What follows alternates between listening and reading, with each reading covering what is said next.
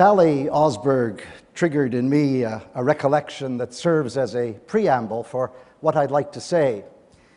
It was 10 after 2 on the morning of December the 10th, 1948, when Eleanor Roosevelt wrote on a scrap of paper beside her, The long, hard job done. And she was right, of course, because they had finished the drafting of the Universal Declaration of Human Rights. And I'd like to talk about one part of the human rights aftermath. In February of 2006, in response to direct requests from governments, Kofi Annan, the Secretary General of the United Nations, announced the formation of what was called the High Level Panel on System Wide Coherence, dealing with UN reform in the areas of development, humanitarian assistance, and environment. For the United Nations, believe it or not, that was a particularly mellifluous title. the appointment of the panel came in the immediate wake of Kofi Annan promising a few weeks earlier that all UN panels and commissions thereafter would reflect gender equality. The panel in question gave a slight twist to the notion of gender parity by appointing 12 men and three women. It's safe here to use the vernacular all hell broke loose. Kofi Annan's promise, having gone up in smoke, courtesy of his misogynist advisors, was the trigger for calling attention to the UN's deplorable record on gender. As it happens, my co director in AIDS Free World, Paula Donovan, had put forward the year before, for the first time in the annals of multilateralism, the proposition that the UN should have an international agency for women. The argument was clear there were agencies for everything else under the UN sun, from children to food to health to labor, but never an agency for women. As a result, women were forever the second class paupers of the UN system. At the time the proposal was made, it was greeted with incredulity by some and derision by others. The United Nations create a new agency 60 years later? Preposterous. Except that, as a result of the panel, not so preposterous after all. The cry for a new women's agency gathered voice and momentum, and a plan developed amongst those committed to gender equality to force the panel's hand. It was a two pronged strategy. A coalition of women's groups would caress the establishment with the usual blandishments, while AIDS Free World would engage in high level advocacy at the diplomatic level. We shamelessly used the veneer of male privilege to gain access. But we needed a blazing dossier. We got it. Paula wrote a searing analysis of the UN's history on women's issues titled Gender Equality Now or Never. Not only did it dismember the dismal UN record on gender, but it actually became the blueprint for the General Assembly resolution on which a new agency was eventually based. We circulated it to all members of the panel. In fact, to use the word circulated is to diminish the overall intensity of the barrage. We lobbied individually, relentlessly, every single member of the panel. We attended their public meetings. We haunted their emails. We brought their most influential friends into the advocacy equation. We met with them secretly in conspiratorial coffee shops over lactose free latte uh, to persuade them to do what was right we made it impossible for the demand for a women's agency to be overlooked. Remember, a women's agency had not been on the UN reform agenda for discussion. The original mandate was clear humanitarian assistance, development, environment.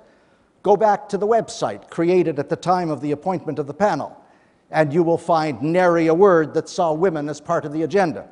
In fact, you can't find the word women, period. Nonetheless, the two pronged strategy paid off.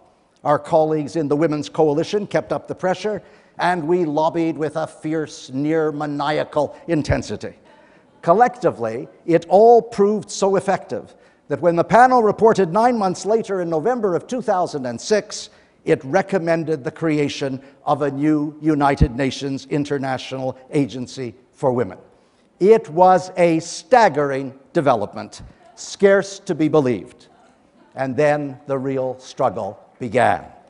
Somehow, somehow the nations of the world gathered in the General Assembly of the United Nations had to be persuaded that the recommendation for the new women's agency should be implemented.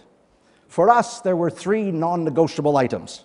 First, the new women's agency needed a minimum budget of $1 billion annually, no outrageous sum for half the world's population.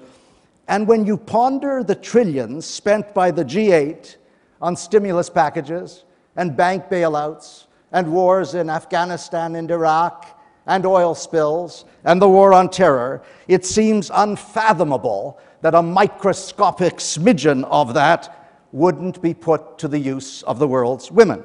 Second, it had to have the operational ability to run programs on the ground, country by country. And third, the choice of Undersecretary General to lead it was crucial. In fact, the most crucial.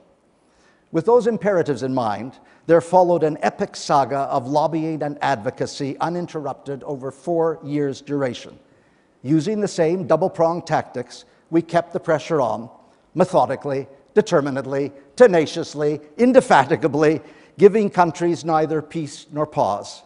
In fact, every significant ambassador at the United Nations was lobbied in his or her office, often more than once, with a torrent of material and a cacophony of argument. Uh, never have I consumed such quantities of putrid coffee. It's, it's, it's no wonder that WikiLeaks reveals addled brains. The process wasn't easy. The United Nations Secretariat at the very top followed a policy of keeping the entire exercise under wraps. The massive media apparatus of the UN was never employed to tell the world what was afoot. The Secretary General made the occasional reference in speeches, but mostly his conduct mirrored his approach to all other issues involving women. An enfeebled rhetorical moment followed by virtually no implementation whatsoever. Indeed, I dare say that even today, for a majority of this audience, the possible existence of a women's agency is a revelation. But it also wasn't easy for other more obvious reasons. There's a group of countries at the UN, I don't even have to name them, whose misogyny is legendary.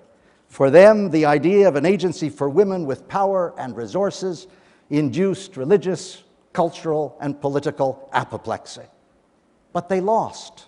They couldn't block. They couldn't impede. They couldn't withstand.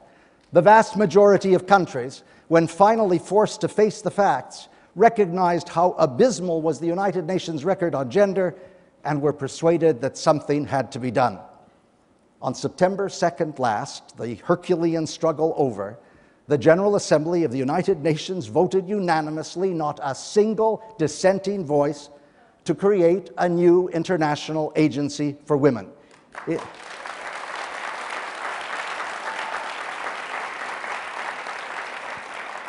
it will become operational in 24 days, January the 1st, 2011. For many of us, it's the best thing that's happened to the UN in our lifetime. It might even change the culture of that obtuse, intractable, impenetrable male fortress. After September 2nd, the struggle shifted in these last few months to questions of raising money and finding staff with expertise in women's issues. But the truly critical question was who would head the new agency? It is impossible adequately to describe the cascading proliferation of candidates, all of whom were advanced by their head of state, some with credentials, some with no credentials, some on the inside, some on the outside, some government favorites, some whom governments wanted to jettison, some riddled with ambition, some just riddled. Uh, whatever that means. But miraculously, in a process totally lacking in transparency, where most of the world didn't even know that the position existed, let alone was open, one candidate transcended all others. Michelle Bachelet, former president of Chile, was appointed. A socialist feminist to lead the agency. Who would have thought it possible within the realm of the United Nations? It's amazing that no country had a geopolitical cardiac arrest. we could not have done better. Bachelet has a remarkable reputation as a leader. Paula Donovan and I met with her for an intense hour of conversation just yesterday. I don't want to stoke the fires of expectation, but I have to tell you that the UN may never be the same. Candor.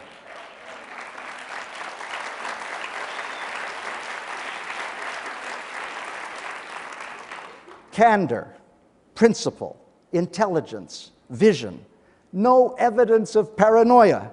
My God, my God, how will the legions of moldy, desiccated bureaucrats cope?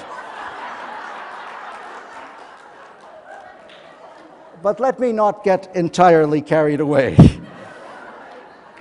My co director and I have between us 40 to 50 years of experience with the United Nations. We have no illusions about its six decade failure to respond to the needs and rights of women. We know that the Secretariat and most of the agencies have a record on gender that is both abject and hypocritical in the extreme. We know that the Security Council pronounces on the agonies of women from Olympian heights and then never follows through. We know that the record of nation states is irrevocably flawed. So let me not pretend that utopia is imminent. But for the first time ever, there is a crescendo of hope. There is a real possibility that under Michelle Bachelet, the United Nations will finally and seriously address the myriad of women's issues that have been allowed to dissolve in a miasma of passivity and indifference. Issues that so compromise the lives women lead, whether it's female genital mutilation or sex trafficking or intimate partner violence or child brides or honor killings or the absence of property rights or the absence of inheritance rights or the absence of any rights for that matter or the total lack of economic autonomy or the shocking rates of maternal mortality or the hapless levels of political represent representation, or I may say the equally hapless levels of women at the peace table. Virtually, that has not improved over the last decade. And above all, the ghastly contagion of rape and sexual violence in so many societies.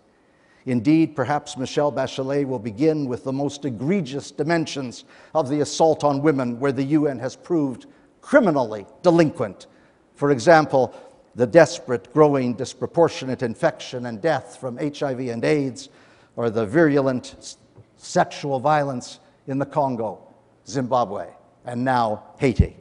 What a godsend it would be if that panoply of issues were confronted. It's a tough go.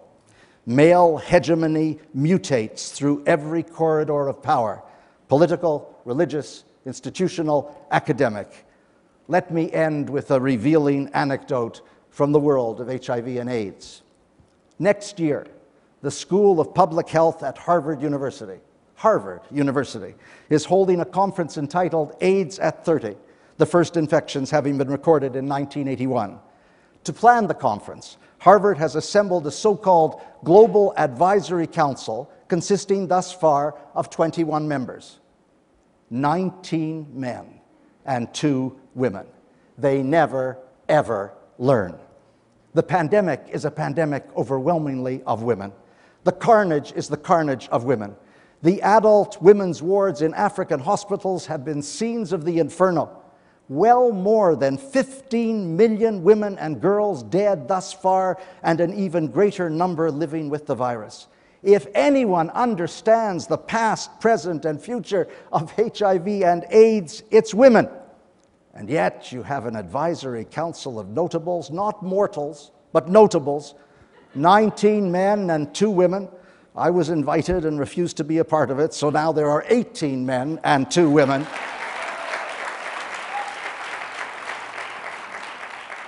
And that's the never ending struggle. I know it well. I'm not proud of the fact that I know it well. I too have participated in those grotesquely distorted male bastions. It's the instinctive assumption of male entitlement. I've been credited by many for the ultimate creation of the new women's agency. In large measure, I've accepted that credit, the instinctive assumption of male entitlement when it far more appropriately belongs to my co director. It's a sickness, it's a male pathology. It has to be broken. It curtails the world for women. I say to all of you that while UN Women, as it's called, may not be the salvation, it could be a citadel of enlightenment, It's the last best hope we have at this moment in history. Thank you.